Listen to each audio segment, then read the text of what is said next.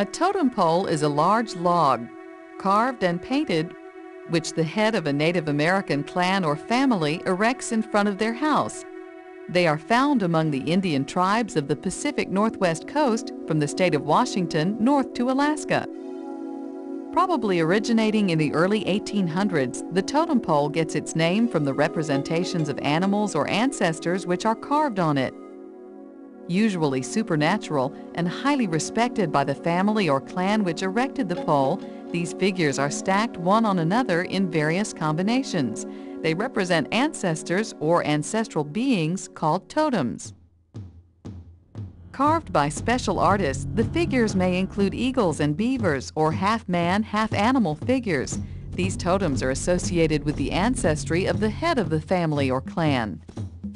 Much like a European noble family would have a crest featuring an animal, the images on a totem pole each carry a distinct importance, often making up a symbolic story or myth which tells the history of the family or clan.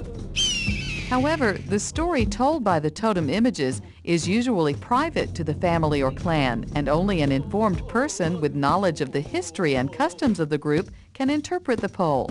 A feast called a potlatch is held to celebrate the erection of a totem pole. Rising as high as 60 feet or 18 meters and lasting 70 to 80 years, totem poles eventually rot and fall to the ground. After falling, they are left undisturbed until the current chief or clan head dies or is succeeded.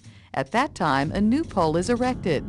The creation of totem poles peaked in the mid-1800s.